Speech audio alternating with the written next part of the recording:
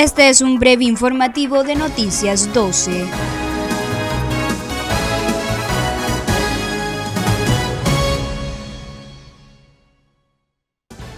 Dirigentes del sector panificador se reúnen con autoridades del MIFIC.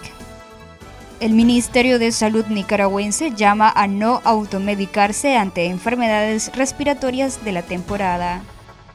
El Ministerio de Educación espera desarrollar más de 200 proyectos a nivel nacional en infraestructura escolar. La onda tropical número 4 continuará ocasionando lluvias con tormentas eléctricas en el territorio nacional.